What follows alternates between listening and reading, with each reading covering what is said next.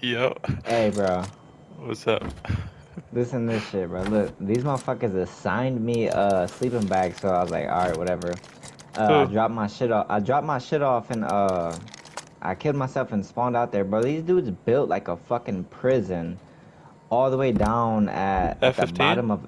Yeah. I got one there. I got a bag there too. I got bagged by Rusty 08 something. Yeah, yeah, too. yeah. Don't. That's like that's just- what I'm about to spawn there right Bro, now. there's like there's like fucking 30 sleeping bags in there, and they're like saying where does Zen live? And as they were saying that, you said thank you in the server. I was fucking crying, bro.